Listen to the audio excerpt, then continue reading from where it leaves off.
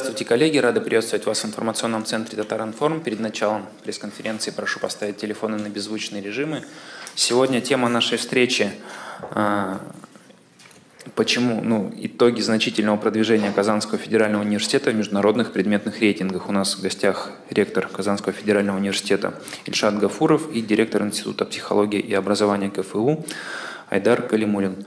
Э, Ильшат Равкатович, вам слово, благодаря чему наш вуз смог достичь такого а, признания. Во-первых, э, большое спасибо за организацию данной встречи. Прежде всего, я хочу всех коллег поздравить с прошедшими праздниками.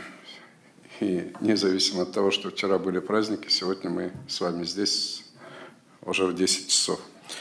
А, это говорит о том, что есть достаточно большой интерес вообще ко всему, что происходит сегодня в стенах нашего университета.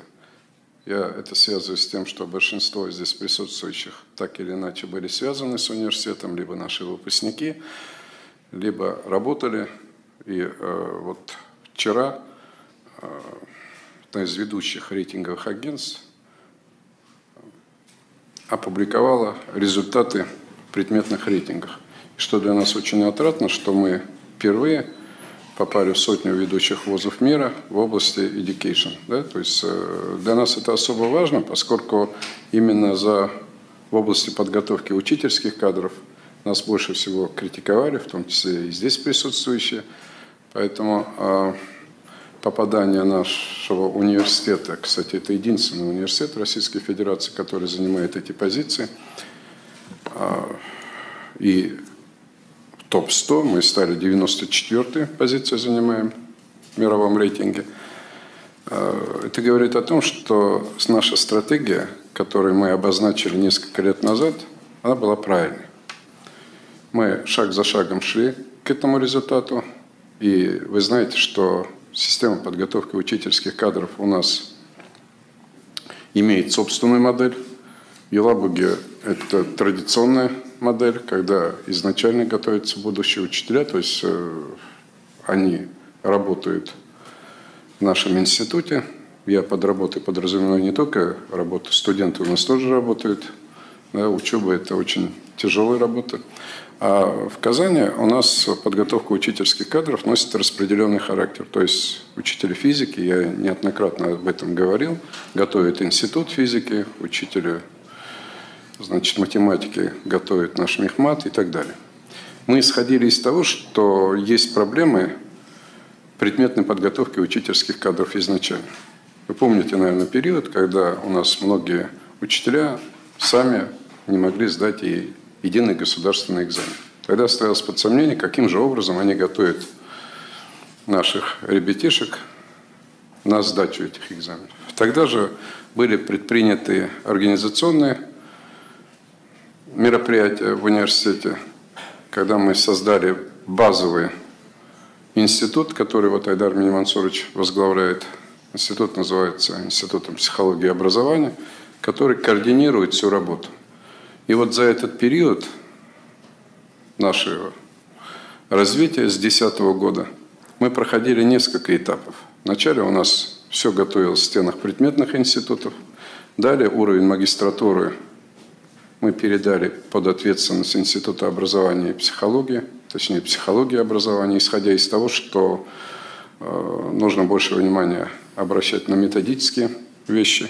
И все это сопровождалось с достаточно глубокими исследованиями в области подготовки учительских кадров, прежде всего, и в целом в области развития системы образования, которая должна была адекватно отвечать на все те вызовы, которые сегодня в обществе происходят. И уже результатом всего этого, а поскольку рейтинговые агентства оценивают и качество образования, и научные исследования в этой сфере, и доход, который зарабатывают именно в этой сфере, и международные контакты именно в этой сфере, да, то есть именно в сфере education, либо в других предметных сферах, если это говорится о других предметных областях. И, стало, э, и стали результаты, вот, озвученные буквально вчера, э, Таймсом результатов позиций мировых университетов. Хотя и, да, и значительное э, значение имеет и репутационные вещи. Поэтому, когда есть репутация у организации, а вот многие наши российские вузы, которые тоже попали в предметный рейтинг, они не меняли ни название в самом начале, ну, допустим, вот МГУ, она спокон веков называется Московским государственным университетом, да? Мы все-таки поменяли название в 2010 году, мы стали федеральным, казанским, федеральным, приволжским университетом. Я каждый раз на встрече с вами акцентирую на этом внимание, поскольку э, результативность сегодня достигается в том числе и при помощи различных механизмов, в том числе и за счет поисковиков, да, которые просто не видят, если название университета, а этот эффект, он накопительный, то есть вот э, до 2010 года федерального университета не было, поэтому все говорят, а где же вы были? Да? Мы говорим, мы организовались в новом формате только в 2010 году. И вы помните, э, какое напряжение было в том числе и в обществе, и до сих пор, кстати, вопросы правильности включения педагогического образования в состав классических вузов на разных форумах сегодня тоже обсуждается. Но сам факт мирового признания говорит о том, что это правильно. Если посмотрите на рейтинги, то ни один педагогический университет там, в принципе, не то, что не занимает лидирующих позиций, их там даже в зоне видимости нет. Отсиживают там в разных областях по-разному. Где-то до 200 университетов смотрят первые позиции, смотрят, допустим, тысячи и а, озвучивают первые позиции. В разных, сейчас чуть больше 500 начали смотреть, до тысячи доходит в разных предметных областях, в том числе и в области education. Поэтому хорошо, что ряд вузов вошли дополнительно. Значит, в частности, и Санкт-Петербургский политехнический университет, и Наши партнеры, это Уральский федеральный университет, тоже в рейтингах присутствует. Один занимает позиции 300-400, другой 400 плюс. Ну, там 400 плюс, он может и 500, и 600 позиции, там может дальше просто данный предметный рейтинг он не уточняет. Так вот, в Российской Федерации сегодня наши позиции лучше.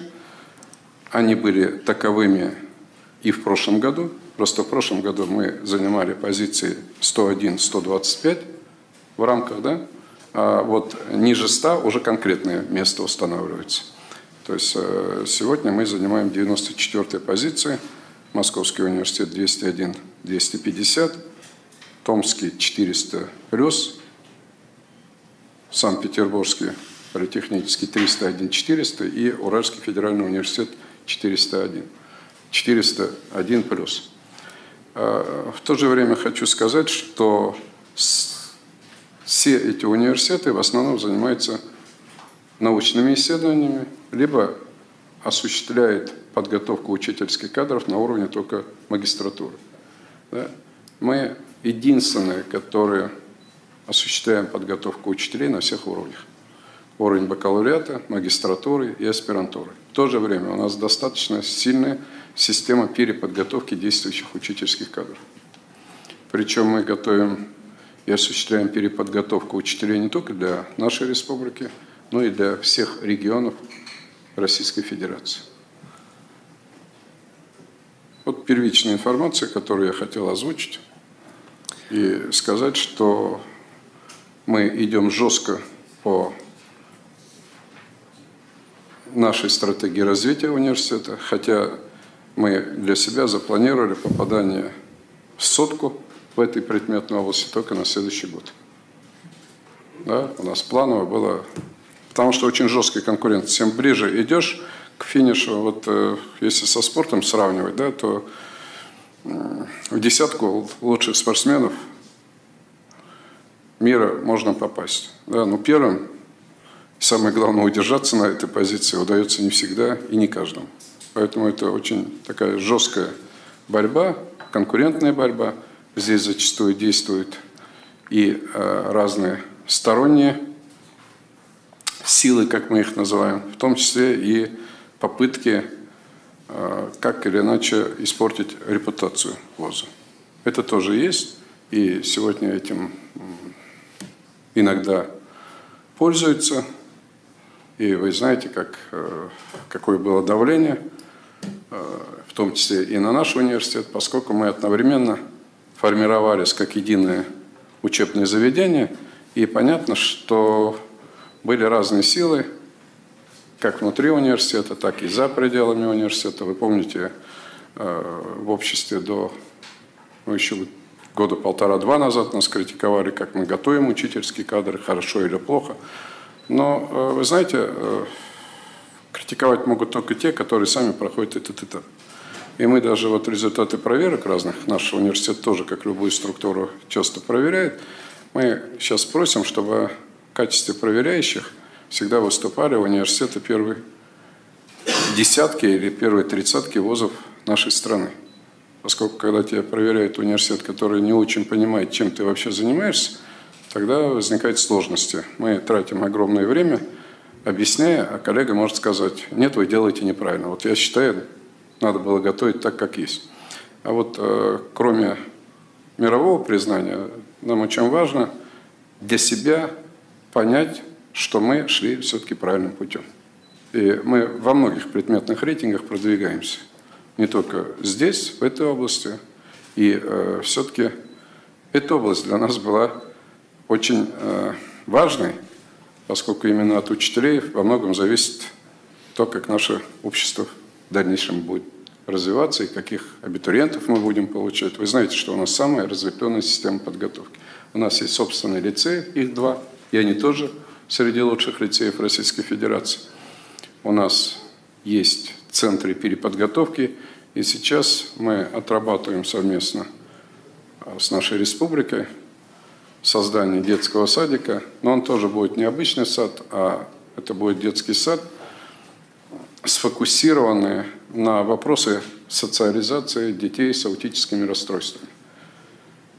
Мы берем специально сложные темы, решение которых ну, позволит отработать и механизмы их социализации, и самое главное, это очень серьезная научно-методическая работа, как для наших педагогов, социологов, психологов, так и для наших медиков, поскольку это комплекс проблем. Значит, мы здесь нашли положительный отклик со стороны президента нашей республики. Это, более того, было его поручение на одной встрече – Э, с родителями детей с аутическими расстройствами. В то же время э, этот сложный вопрос, кроме нас, мало, наверное, кто сможет решить в целом. Мы будем привлекать, конечно же, специалистов и со стороны. Мы здесь тоже стали базовым центром по решению Минпросвещения Российской Федерации. Спасибо пока. Спасибо, Ильшат Равкатович. Дармин Мансурович, расскажите, чем выделяется система подготовки педагогических кадров КФУ, благодаря чему такие высокие места? Спасибо. Добрый день, уважаемые коллеги. Сегодня очень такой волнительный момент для меня, для моих коллег, для Ильшата Равкатовича, потому что мы, наверное, долго будем еще переваривать это событие, так как 94-я позиция в международном рейтинге – это прежде всего показатель репутации, престижа системы педагогического образования КФУ в рамках и вообще Российской Федерации. По сути, мы своим достижением представляем педагогическое образование Российской Федерации, Республики Татарстан на международной арене и о том, что мы весьма что, что мы в одной группе с ведущим университетом мира, это, безусловно, особый такой факт. Ильшат Равкатович сказал о том, что мы в течение уже 8 лет с э, момента присоединения двух педагогических университетов в 2011 году очень системно, целенаправленно работали. И я очень благодарен руководству нашего университета тому э, факту, что в 2015 году педагогическое образование стало одним из четырех приоритетных направлений развития Казанского федерального университета как участника программы 5100. Это, по сути, наверное, редкий такой пример, когда университет, э, используя вот те ресурсы, выделяемые программой, сконцентрировался на решении социальных вопросов, на реализации своей социальной миссии. И я очень рад тому, что мы оправдали это доверие, эти надежды. И Сегодня я могу смело утверждать, что наш университет известен уже во всем мире. И мы встречались здесь, э, традиционно встречаемся в мае, когда мы проводим наш международный форум по педагогическому образованию ИФТ. И более 100 зарубежных ученых, более 500 российских ученых ежегодно приезжают к нам для того, что, причем приезжают из года в год, чтобы каждый год узнать что-то новое, то, что мы делаем в системе педагогического образования. Действительно, нам есть чем, э, что показать. И я вот много очень бываю за границей, изучаю опыт зарубежных вузов. Это тоже сейчас очень важно, потому что нельзя замыкаться, надо воспринимать все лучшее, что есть в мире. А, как известно, 21 век был объявлен Всемирным банком э, веком кризиса школьного образования. И когда приезжаешь в зарубежные страны, уже в некоторых аэропортах встречают э, баннеры которые посвящены рекламные щиты привлечению учителей в школу, на программы по подготовке учителей. Даже в благополучной Германии существует огромная нехватка учителей, и на улице висят рекламные щиты, где дети протягивают руки и там «будь моим учителем» и так далее. То есть угроза очень серьезная, и не случайно вопросы подготовки учителей сейчас становятся одними из приоритетных даже ведущих странах мира. И вот здесь, конечно же, Казанский федеральный университет выполняет свою миссию как вуз, э, в том числе и международно ориентированный, который позволяет выстроить вот этот мост сотрудничества между российскими и зарубежными учеными – мы имеем для этого очень интересные инструменты. У нас работают зарубежные и российские ведущие исследователи. Мы имеем свой журнал, который с прошлого года индексируется в международных базах данных. И все это и многое другое. Этот журнал, я, кстати, должен сказать, вот, он из, вот этот журнал из самого критикуемого был выведен. А, мы как-то тоже на этом акцентировали внимание, средств массовой информации, представители средств массовой информации, говоря о том, что стоял вопрос, либо его совсем закрыть и э, с нуля открыть, да, поскольку все время его критиковал и Диссернет, и, и все, кто... Но э, мы его вывели в один из лучших журналов Российской Федерации, он стал сегодня международным.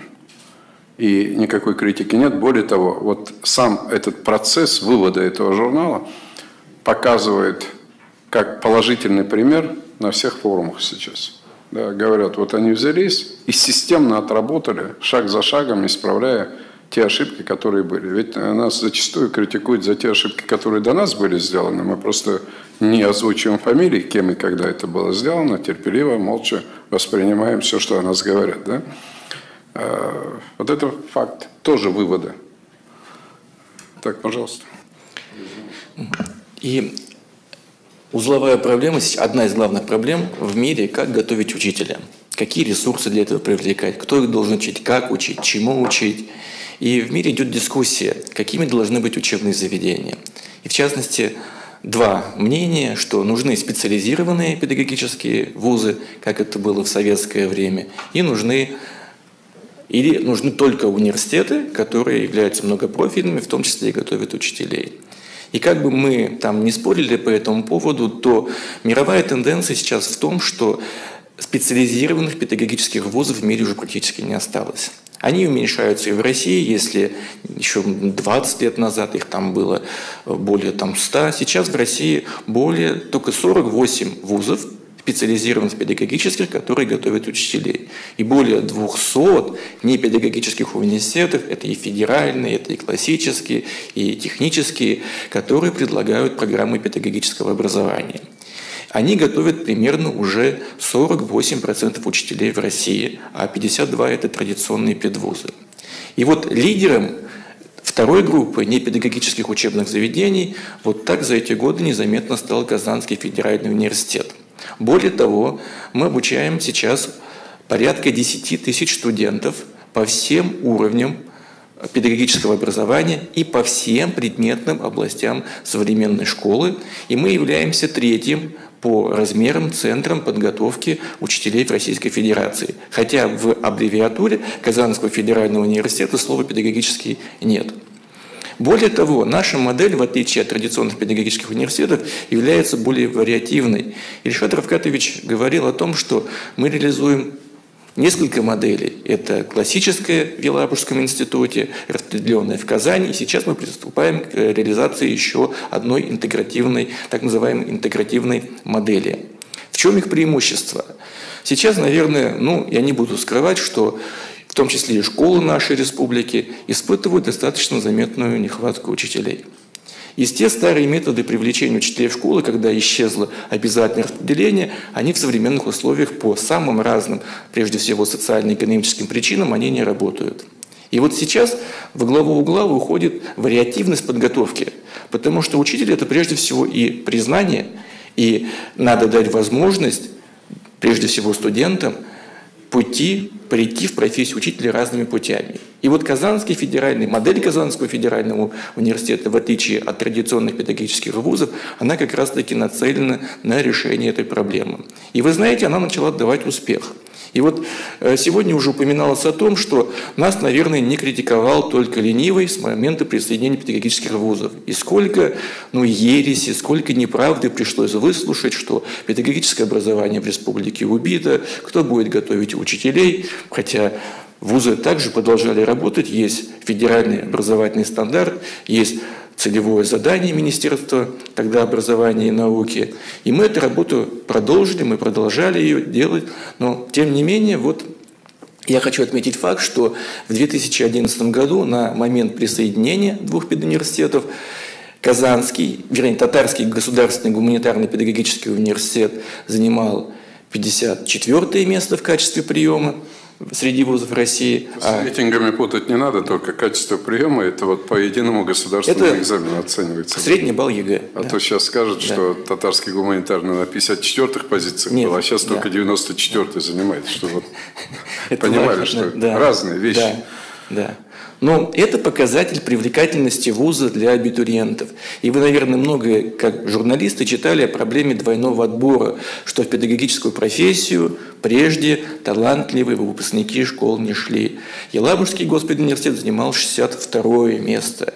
И вот сейчас мы смогли решить эту проблему за последние годы, и мы всегда по стечении последних трех-четырех лет демонстрируем устойчивый рост среднего балла ЕГЭ поступающих абитуриентов на педагогические направления подготовки. Мы традиционно входим в десятку, и вот буквально на прошлой неделе был опубликован этот рейтинг, подготовленный Высшей школой экономики. Мы входим в десятку по всем направлениям, а более того, мы а, лидеры в России по платному контрактному приему на э, программы подготовки учителей. О чем это говорит? Говорит о том, что наши программы привлекательны, интересны и те, кто не смог поступить на бюджетные места, готовы платить за это деньги. И вот это говорит о том, что в профессию учителя начали приходить очень талантливые выпускники, и в этом году средний балл по КФУ составил 78 баллов ЕГЭ. Вы прекрасно понимаете, что приходят уже отличники, и их достаточно много. И вот это одно из, наверное, таких важных тоже следствий вот этого присоединения и нашей трансформации. Но на чем... Причем, говоря о ЕГЭ, я, извините, да. буду перебивать иногда, надо всегда помнить э, о количестве приема. Если принимается на бюджетные места 10 человек, то понятно, что ЕГЭ очень высокое может быть, да? А у нас все-таки очень большой прием. Вот в целом э, на все уровни, не только по педагогике, более 5000 был бюджетный прием – Казанский федеральный университет. Это уровень бакалавриата, магистратуры и аспирантуры. Да? Это огромные цифры. Поэтому ЕГЭ делится, когда средний определяется, вот на этот знаменатель. Понятно, да? То есть 10 человек – огромный конкурс. Когда уже 10, 100 человек – конкурс меньше. Когда 1000 человек – еще меньше может быть. Поэтому, когда э, вот оценивать прием по единому государственному экзамену, мы сейчас хотим внести корректировку а, масштаб вуза. То все время говорят, вот в Татарстане мы по уровню ЕГЭ вторые, да? Там первый занимает медицинский университет. Но надо же понимать, что если будет одно бюджетное место, то может быть и зашкаливать там больше ста. Еще сто получить, там еще надбавки за разные портфолио, за Олимпиаду и так далее. Поэтому это очень важный фактор, поэтому мы об этом на встречах всегда говорим. Извините, Айдар Мансурович. Ага. Я продолжу, что первые три места в этом рейтинге в этом году заняли вузы с приемом в 10 человек всего лишь бюджетно. Понятно, что с такими крупными университетами, как наш, московские педуниверситеты, э, ну, там, они в одной там, линии стоять никоим образом не могут. Следующее наше преимущество, что за эти годы, благодаря поддержке, мы смогли выстроить совершенно новую для России инфраструктуру педагогического образования. Здесь я, наверное, не покривлю душу, если скажу, что педагогические вузы всегда были немножко в стороне от приоритетов образовательной политики в стране. Я был ректором Елабужского государственного педагогического университета и просто считал деньги, хватит ли мне финансирования, там не просто на покупку мебели, оборудования там какого-то, а просто на ремонт крыши, потому что иначе мы не могли там заниматься. И вот включение в эту большую семью Казанского федерального университета позволило нам при, безусловно, понимании со стороны руководства получить хорошие инвестиции в нашу инфраструктуру. Я всех приглашаю вас в удобное, любое удобное время, а некоторые уже бывали у нас в гостях на Межлаука-1, увидеть это здание, которое, по сути, было ну, в крайне аварийном состоянии, а сейчас это ну, здание обеспеченное, сделано на уровне мировых стандартов. Это я знаю от своих зарубежных коллег, которые к нам приезжают. И самое главное, оснащенные всем необходимым для качественного организации учебного процесса. У нас есть все, начиная от базового оборудования в аудитории и кончая модельными классами для подготовки учителей химии, физики. Сейчас у нас буквально мы вас обязательно пригласим после Нового года. У нас э, откроются новые э, лаборатории по цифровому обучению. Это тоже сейчас тренд, и от которого мы не можем отрекаться и отмахиваться. И вот вся эта инфраструктура, конечно, она работает на качество образовательного процесса. Я бываю во многих вузах, ну и поверьте мне, те, кто приезжает даже из-за рубежа, из ведущих, там, из Германии, Великобритании, США, они говорят, что это самые высокие мировые стандарты.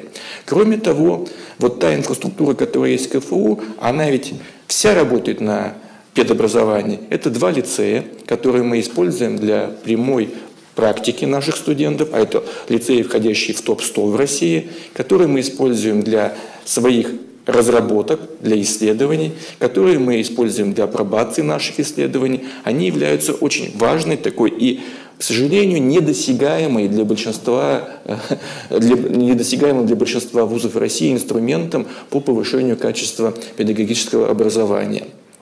Кроме того, планетарий, детские университеты. Вот вся эта система, она замкнута в единый комплекс, который опять-таки позволяет нам достигать очень хороших это исследовать. Практически мы исследуем самые живые проблемы, которые стоят перед современными детьми, школы, начиная с детей, которые имеют проблемы со здоровьем, с буллингом, с взаимоотношениями с родителями и так далее, и так далее. Это тоже очень интересно, особенно это интересно и зарубежным исследователям. Я думаю, что мы достойно представляем российскую педагогическую науку на международной арене, потому что выезжая на самые крупные конференции мира, мы видим, допустим, сейчас в мире э, Тренд – это сетевые сравнительные исследования, когда ученые из нескольких стран исследуют проблему с, позиции, с национальных позиций. И потом выявляют, условно говоря, в Германии тут хорошо вот в этой позиции, в Румынии плохо. Что нужно заимствовать?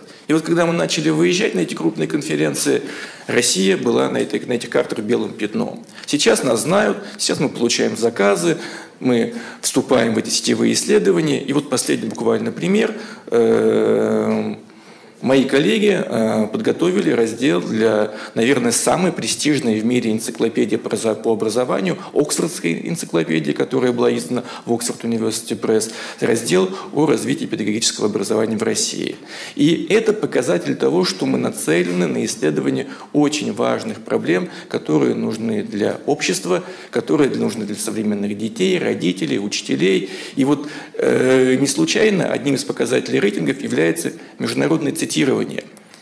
Вот, наверное, вот, удивлением будет для вас узнать, что примерно 30% э, статей в журналах Nature, Nature и Science, они не цитируются. То есть они остаются незамеченными. Да.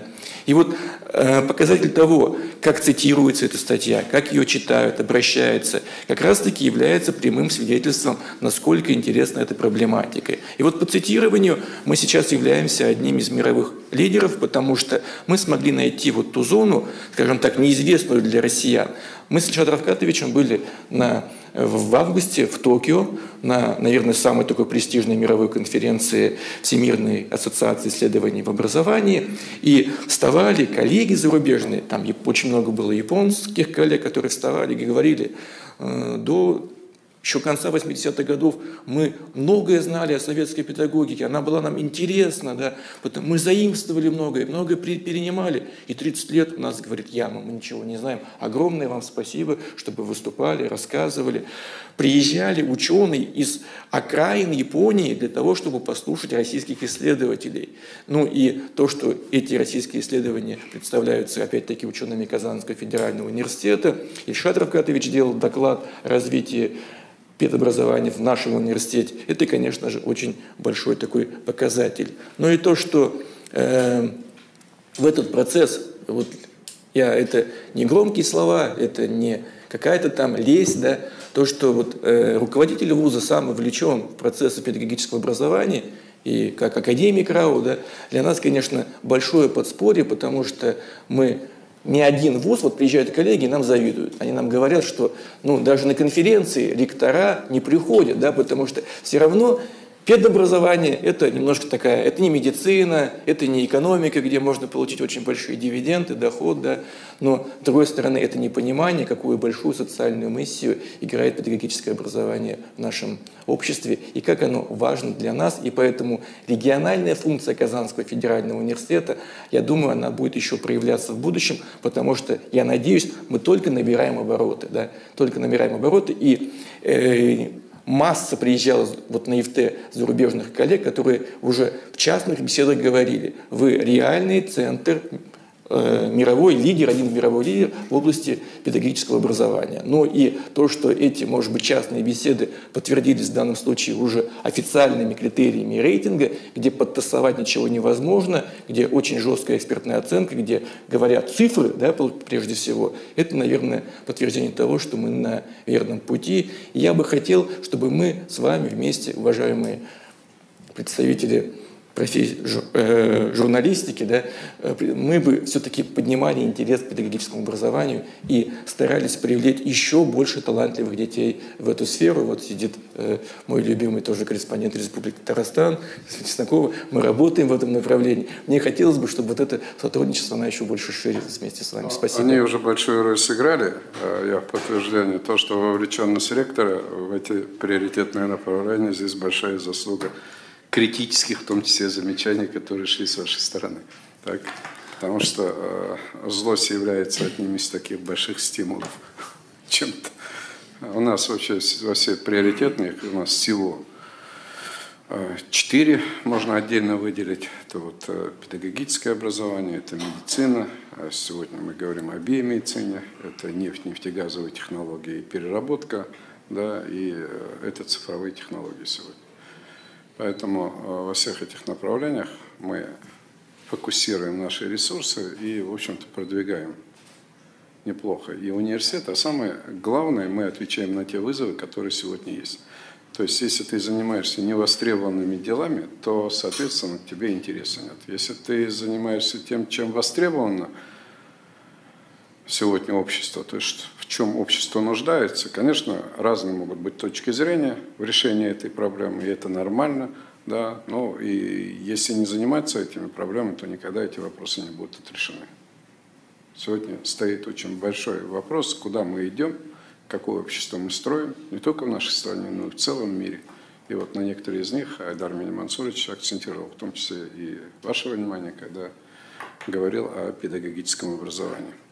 На самом деле проблем очень много. Результаты рейтинга это мы рассматриваем как один из этапов оценки нашего, вот, э, нашей работы за период с 2011 года.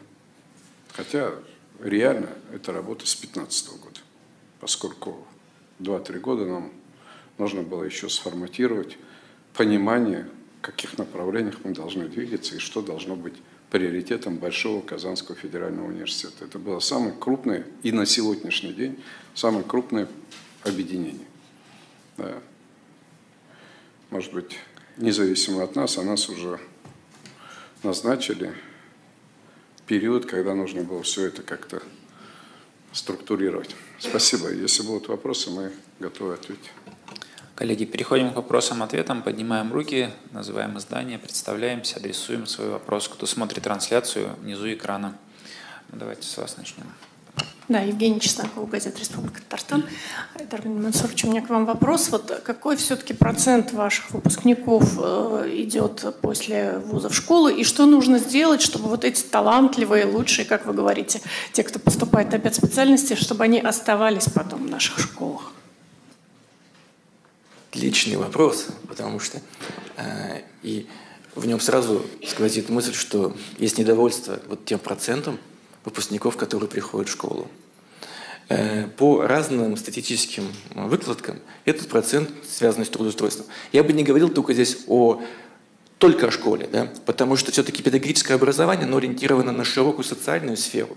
Это и органы, которые связаны вот, там, с социальной сферой, поэтому э, если они находят работу на стезе полезное обществу, это тоже для нас положительный результат. И вот с этой позиции мы видим, э, вот последняя цифра, она в районе 80%, потому что все равно они приходят на работу. Это трудоустройство, связанное с социальной сферой прежде всего и образованием. Надо учитывать, что есть молодые люди, которые идут в армию, да, есть небольшой процент девушек, которые выходят в декретный отпуск, да, есть э, студенты, продолжающие обеспечение в магистратуре. Поэтому магистратуре 100, и да, аспирантуре. Да, поэтому к стопроцентному показателю там э, априори э, не, не, не, не, невозможно подойти.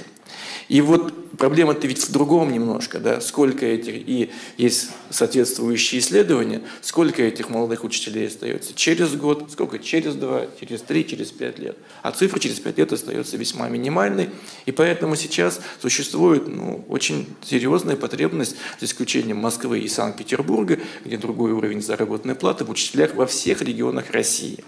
И вот здесь я бы сказал, знаете что, да, вот когда э, пытаются критиковать российскую систему педагогического образования, вот поверьте мне, практически там в два раза в месяц я бываю за рубежом, причем это не туристические поездки, я учусь там, смотрю, там, работаю с коллегами, да, и я могу сделать вывод о чем, да. Мы решили первую проблему, привлечения в профессию учителя талантливых выпускников школы. Это действительно есть, и цифры это подтверждают. Учебные программы в России замечательные. Да? Такой насыщенности, наполненности да, практически нет ни в одной стране мира, и поэтому у нас сейчас активны наши программы заимствуются. Я просто скажу, что в Америке есть программы пятинедельные по обучению учителя – Весь мир сейчас живет по принципу большинства стран, да, быстрее и дешевле подготовить учителя и запустить его в школу. А дальше там время покажет, будет он или работать. Наши программы, они по бакалавриату четырехлетние, двойной бакалавриат пятилетний, они великолепные программы, связь с практикой. Есть практика в ряде стран, почему изучают нашу систему взаимодействия с нашими лицеями, где мы выстояли, да, у нас практика начинается с первого года обучения, и она идет по нарастающей. То есть мы имеем хорошие такие площадки, а есть страны, где всего лишь 5, 10, 20 часов практики да, за все время обучения студента. Эта система тоже выстроена.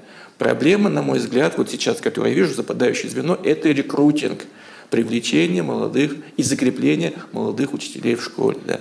Эту проблему Казанский федеральный университет по сути решить не может, потому что наша задача подготовки э, учителей. Да. Вот здесь есть хорошие тенденции на уровне республики, да, э, связанные с республиканским заказом на подготовку учителей для билингвальных школ. Я думаю, это неизбежно, мой прогноз, выльется республиканский заказ на подготовку высококвалифицированных учителей математики, физики для школ с углубленным изучением предметов. Да, это будет проходить. И вот, наверное, здесь все все-таки наша республика должна выступить таким инициатором вот этих таких новых моделей, иначе, ну, через 3-5 лет э, прогнозы пока не самые утешительные. И вот здесь Казанский федеральный университет, исходя из наших наработок, мониторинговых исследований, да, наших психологических служб, потому что когда мы общаемся с молодыми учителями и ищем причину, да, спрашиваем, у нас есть такие исследования, опросы, да, это ведь не только заработная плата, но республика устанавливает на грант наш новый учитель, его, правда, получают не все. Это тот прессинг, который психологически молодые учителя получают в школе со стороны детей. Сейчас со стороны родителей, да, это отдельная проблема, которую все выделяют, и молодые учителя ходят только из-за родителей, которые тоже там, э, ну, достаточно, наверное, невоспитаны, да, в некоторых позициях, и ряд других вопросов. Поэтому я надеюсь, вот так вопрос, вот он пока в большей степени даже ответ постановочный на ваш вопрос. Спасибо. Дело в том, что есть ряд вариантов, о которых Айдар Минимансурович говорил. Это не только полный заказ республики, но республика полностью э, осуществляет заказ сегодня на программу полилингвального образования и для национальных школ да, здесь. Но есть еще и другие э, механизмы. В частности, делаются отдельные гранты, премии, доплаты – стипендии отдельные выделяются, но э, и наши выпускники получают обязательства да, взаимные три года, как в советское время, отработать по направлению. Но все зависит потом от тех условий, которые на уровне муниципалитета либо конкретной школы будут созданы. Вот э, те проблемы, которые Эдар Минимансурович озвучил, они тоже являются, в принципе, предметом исследования. Вот все сейчас задают вопрос о полилингвальных школах. Там какие пропорции будут между татарским, английским, русским языками. Ответить на этот вопрос, я думаю, когда школа запустится, там примут какое-то решение административное, будет программа, но все это будет уточняться по ходу, да, по ходу освоения детьми. Это тоже предмет глубоких исследований. Поэтому мы приняли решение, что у нас будет небольшая группа людей, которые будут э, на площадке Айдармия Мансуровича в его институте заниматься просто исследованием. Сегодня, вы знаете, у нас люди и преподают, и занимаются исследованием. Да? То есть у нас будут э, ставки выделены э, научных только сотрудников для исследовательской работы. Они могут распределяться не обязательно 100% только под исследование, допустим, 75% ставки – это исследовательская, и 0,25 э, доля или 25% – это преподавательская либо там 1,25 будет. Да? То есть мы считаем, что чисто исследовательская работа, она тоже в отрыве от э, преподавательской работы, она не приносит хороших результатов. То есть это должно быть э, два в одном. Но все зависит от пропорции загруженности. Если у кого-то есть больший талант на исследования, связанные с поездками, с участиями в конференциях, это тоже занимает много времени, поэтому мы вот приняли такое решение. Спасибо. А, здравствуйте, Ирина Трифонова, газета «Сувар».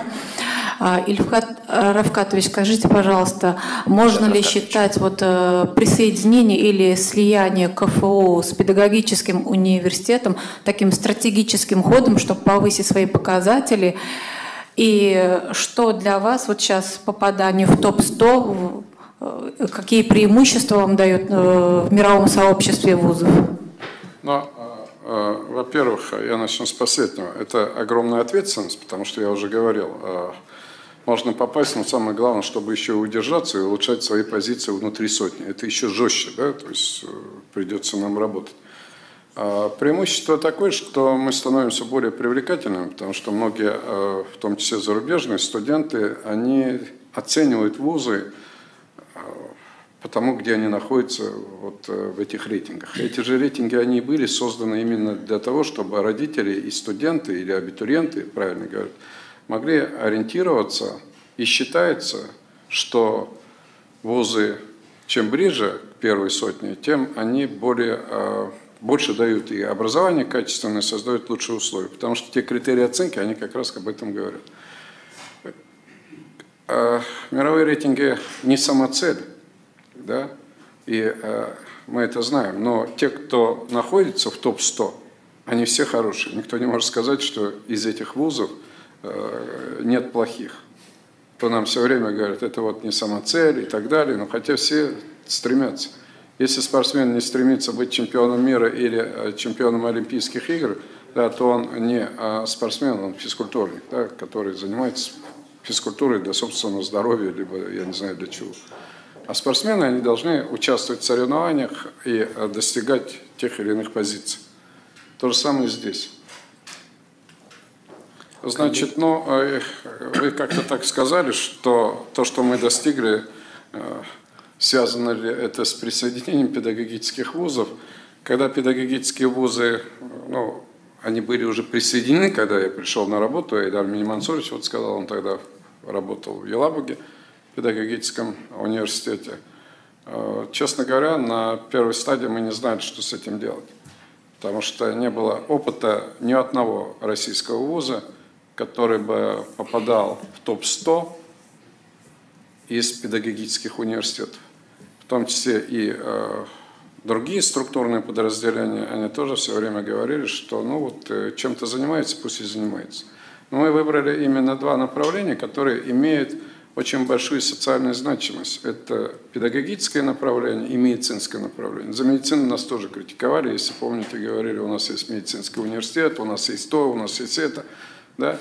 И э, мы сегодня занимаем лидирующие позиции в Российской Федерации по этому направлению тоже.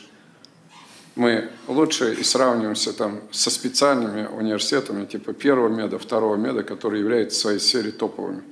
По ряду позиций мы, показатели у нас лучше сегодня, в частности в научных исследованиях. Мы исходили из того, что это самые востребованные, по-другому, просто язык, другими словами, это самое нужное направление для общества сегодня. Все мы хотим качественно жить, дольше жить, да, и э, мы знаем, какое отношение в обществе к сфере здравоохранения – сегодня не только в обществе, но и часто критикуется руководством нашей страны. Но критикуется не для того, чтобы критиковать, а понять, что нужно в этой области сделать для того, чтобы э, улучшить и отношение общества к здравоохранению, к системе здравоохранения, с одной стороны, и то же самое, вот вы задали вопрос здесь только что, любимые корреспонденты Айдар Минимансурович, Елена, значит, в вопросах, э, связанных с подготовкой детей, да, а это связано с учителями. Ведь самое дорогое у нас это наши дети, ну и внуки сейчас у кого, да, и в зависимости от того, как к ним относятся, в том числе и в школе, в садике, мы, каждый из нас, из родителей считает, что мы больше знаем, как нужно с нашими детьми работать, хотя мы зачастую ошибаемся. И это является предметом исследования. Поэтому, если бы э, два педагогических университета к нам не были присоединены, или не участвовали в объединительном процессе, может быть, мы бы и не занимались этой проблематикой. Может быть, занимались только э, в области исследований, да, так или иначе сопряженно с другими предметными областями. Ну, в частности, с психологией, медициной и так далее. У нас два вопроса еще. Наталья, а потом вы. Здравствуйте, Татаринформ. Ильшат Равкатович, э, скажите, пожалуйста, подробнее про детский сад для детей аутистов. Скажите, какое участие конкретно КФУ, когда он появится и где? Спасибо. Ну, а, во-первых, участие КФУ в чем? А, это наша собственность. Да, это здание детского садика, это собственность а, нашего университета.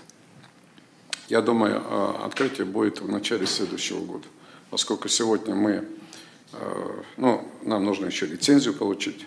Да? А лицензию мы должны на федеральном уровне получить. Мы должны сегодня э, сформировать коллектив. Э, значит, но если э, мы будем работать с детьми с аутическими расстройствами, конечно, мы будем, я думаю, вплотную работать с родителями этих детей да, и нам нужно будет с ними встречаться и выработать программу подготовки совместно, чтобы это было взаимно такой вот э, э, обязующая работа. Э, понятно, наверное, нас тоже будут критиковать, поскольку вот недавно совсем в Гарварде открылась такая структура и совершенно очевидно, что процесс социализации должен идти с детского возраста, то есть в 10 там, или 8 классе, наверное, вряд ли это уже можно делать. Стоит вопрос, это будет отдельный садик, где будет концентрирована только работа с детьми с аутическими расстройствами, либо в садике должны быть и, и другие дети, чтобы вопрос социализации все-таки понимает два, э, ну, э, обоюдный процесс. Да? То есть ты-то можешь стремиться общаться, но с тобой могут не общаться. Поэтому мы должны выработать методические вещи. И вот центром выработки этих методических вещей будет как раз наша структура детский садик. Мы сегодня вплотную отрабатываем э, с республикой, поскольку вопросы финансирования детских учреждений и школ – это прерогатива субъекта. И мы должны здесь вписаться в проекты или в программы, том числе и методического характера, э, с Министерством образования и науки Республики Татарстан и с муниципалитетом, поскольку мы в Казани находимся, чтобы наши действия не шли в разрез. То есть сегодня идет, сегодня садик практически готов. Ну, нужно оснастить игрушками там и так далее, но это тоже э, методисты должны сказать, что, чего должно быть. Э, реконструкция, точнее капитальный ремонт практически завершен. Э, значит, профинансировал капитальный ремонт вот на этой стадии. Там еще нужно работать, значит, бюджет республики. Еще раз говорю, поскольку мы, вот межбюджетная процесс, он так выстроен, он э, трех уровней. Да? Есть федеральный, республиканский и муниципальный.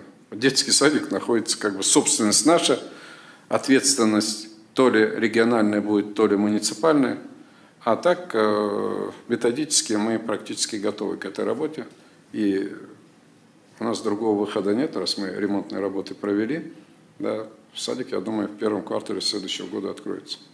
Мы сейчас отрабатываем совместно э, с Минфином республики.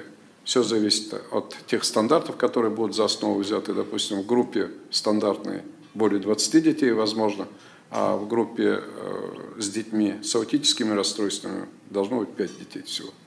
Да, у них другой режим, там время нахождения и так далее. И нам нужно обязательно центр общения с родителями Э, это, вот понимаете, когда мы идем не по проторенной дороге, вызывает очень много вопросов, и мы не хотели, чтобы в самом начале э, было какое-то отторжение. Либо со стороны родителей, либо со стороны самих детей, там еще бабушки придут. Поэтому мы отрабатываем с родительскими сообществами все эти вопросы. Ну, это будет структура федерального университета. Да, я добавлю. Э, это будет Если можно попросить рядовое, очень коротко ответить, потому что ну, коротко, время заканчивается, а желающие Это будет не рядовое, не рядовое дошкольное образовательное учреждение, это будет в том числе и научно-исследовательский центр, да, потому что проблемы, куда университет будет активно вкладываться своими исследовательскими ресурсами, здесь будут работать и медики, и психологи, да, потому что аутизм, к сожалению, болезнь, которая еще окончательно не изучена. Поэтому я думаю, это будет действительно прорыв очень серьезный, который будет нужен для общества. Коллеги, коротко давайте. Информагентство «Интерфакс» э, в рейтинге Times Higher Education, о котором сейчас идет речь, э, КФУ находится между 601 и 800 местом overall, ну, то есть в общем рейтинге, а не по отдельным направлениям. Стоит ли перед вузом задача войти в топ-100 э, в общем рейтинге скажу, к какому значит, году? Я сразу отвечу на этот вопрос. Просто Times Higher Education, он поменял систему оценочную, да, и э, если у нас возникла здесь э, развязка, у нас есть ряд журналов, которые индексируются в так называемый Web of Science и Scopus. Да? Изначально мы ориентировались на Scopus, потом мы переориентировались, поскольку э, Times Higher Education брал за основу в основном публикации Web of Science, мы переориентировались да, дальше он поменял свою политику и полностью перешел на Скопус, так же, как Коис. Да. Э, это примерно так же, когда вы выходите играть в футбол, а по ходу меняются правила игры. И это была тема очень больших как бы, дискуссий, в том числе российских вузов, поскольку все российские вузы э, значит, начали достаточно хорошо продвигаться здесь. Это агентство находится в Великобритании, вы знаете, да, и я не знаю, почему они так поменяли э, политику. Э, значит, э, скорее всего, мы раньше попадем в КУЭСе, сотку, где, мы, где достаточно стабильная позиция, то есть они не меняют правила игры уже достаточно длительное время. Там мы 392 в мире. И э, многие оценочные параметры, они нормируются. У нас очень большой университет, поэтому, ну как, маленький камешек можно перенести и поменять структуру очень быстро. Но поразительная ситуация в другом. Э, мониторинг нашего министерства – по публикационной активности, он ориентирован благодаря Академии наук Российской Федерации на Web of Science. Да? И мы находимся на стыке, как нам быть. А ряд журналов индексируется и там, и там. Либо мы перейдем на те журналы, а, знаете, менять политику в большом университете – это не так просто. А вот а, это особенно важно для естественников. А в предметных областях, вот э, в Таймсе, почему мы в, э, в педагогике, в социальных науках, других, да? Потому что они изначально были ориентированы только на скопус, в основном. А журналы Web of Science были ориентированы, естественно, научный наш блок, который давал достаточно большой плюс. Еще, простите, один короткий вопрос. Осенью на сайте ВУЗа был опубликован подписанный вами приказ об утверждении регламента работы подразделений ВУЗа, вводящий ряд ограничений. Я сразу тоже отвечу на этот вопрос. Корректировки, э, ну, во-первых, э, публикация на сайте или где-то там, где вы взяли этот приказ, я не знаю. Э, значит, произошла, когда я был в командировке в Японии, вы по времени можете посмотреть, если мне не верите. Значит, этот приказ подписан был министром, да, и он был один к одному, значит, э, ретранслирован. Значит, сегодня корректировки произошли, э, значит, э, это касается в основном тех, кто имеет доступ к второй и первой степени секретности. Такие люди есть, ваш покорный слуга имеет вторую степень, значит, поэтому все мои собственные командировки, они так или иначе согласуются. Значит, э, ну, из крайности в крайности в толковании журналистском не надо понимать. Э, все нормальные люди его поняли изначально правильно. И никто перекосов не осуществлял. Как раз в этот же период проходили мероприятия, связанные с WorldSkills. И огромный поток иностранцев всегда был. И мы, э, есть разный уровень встреч. Может, его не очень корректно написали. Это был разговор о встречах, связанных с обсуждением тех вопросов, которые касаются критических направления исследований, прежде всего. Это ни в коем случае не касается, если мы с кем-то там пошли кофе попить. Мне кажется, да? надо адресовать э, ну, те, те, кто приказ а там выпустил. И ответ и министр дал, и все другие. Вы, и наши коллеги, мои коллеги давали. Если вы хотели услышать именно от меня, я вам дал ответ на этот вопрос. Почему он... Последний вопрос и Пожалуйста. Ильшат Равкатович, если позволите, газета «Бизнес онлайн», Ксения Соколова. Два коротких вопроса у меня. Э, первый по поводу рейтингов. Не подскажете, какой объем средств университет инвестирует э, в э, продвижение в, международном, в международных рейтингах? Да? И второй... Сколько более... мы даем денег на продвижение? Ну, Сразу хочу сказать, мы денег на продвижение не даем. Мы даем ресурсы на э, исследование и на формирование востребованных, прежде всего, образовательных программ. Вот сейчас будут созданы центры цифровых трансформаций в каждом структурном подразделении. Да? Понятно, что рано или поздно все это отработает э, на рейтинге в области компьютер-сайенс, где, кстати, ни один вуз Татарстана, к сожалению, не представлен мы приняли для себя решение, что у нас 18 структурных подразделений, в каждом из них будут созданы специализированные центры, ответственные за э, цифровые трансформации именно в этих предметных областях. То есть то, что педагогика Айдар Минимансурис сказал, такой центр откроется в начале следующего года. Значит, сегодня идет закупка всего необходимого, в том числе и, как мы говорим, железа, программных продуктов, отработка программных продуктов. Людям, которые работают в этом направлении, конечно, нужно платить деньги да, и, и не маленькие, потому что программисты топовые, они востребованы везде. Второй короткий вопрос. А, он более общего плана. В КФУ очень активная научная деятельность ведется. Вот какие, понятно, что множество исследований, разработок, они все значимые, но какие бы вы отметили два или три ну, я, я знаю, отмечу четыре направления, которые я уже сказал приоритетные. Эти все направления связаны с биомедициной и фармацевтикой, то есть с нашим с нашей э, обеспечением нашей жизнедеятельности, да, здоровьем и так далее. Поэтому мы развиваем и клинические подразделения, центры трансфера технологий делаем в этом направлении. Это все, что связано с педагогикой, и я говорил, у нас будет исследовательский центр отдельный, кроме того, что мы сегодня делаем, и вот садик сам по себе. Четвертое или третье направление – это все, что связано а, с направлениями э, в области нефтехимии, разработок а, по тяжелым битумам, нетрадиционным нефтям и так далее. Здесь это направление не столько, оно как исследовательное, так и доходное. За эти работы нам платят деньги. Мы стали базовым университетом Роснефти, самый крупный в стоимостном выражении программа, которую мы реализуем совместно по заказу Роснефти, British Petroleum и вместе с Imperial колледжем. Самая дорогая магистрская программа в нашей стране, да, Программа на одного магистра стоит 6 миллионов рублей и оплачивают эти компании. Это говорит о нужности или опять-таки востребованности.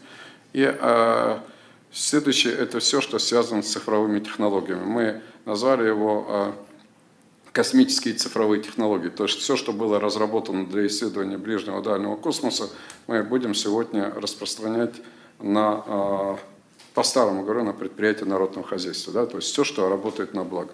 И э, еще одно направление, которое, наверное, более близко э, и к здравоохранению, то есть и биомедицины, это биоагротехнологии, связанные вот с утилизацией всех этих отходов, которые нам дают, в том числе и животноводство и так далее, и превращение всего этого в сырье. И в этот же сегмент входят вопросы, связанные а, с остаточным экологическим накоплением а, проблемных моментов. Ну вот вы знаете зоны где э, у нас э, сконцентрированы наши бюджетообразующие предприятия, они сегодня нуждаются в решении экологических многих вопросов. Вот. Спасибо. Коллеги, всем спасибо, всем хорошего дня. Спасибо большое.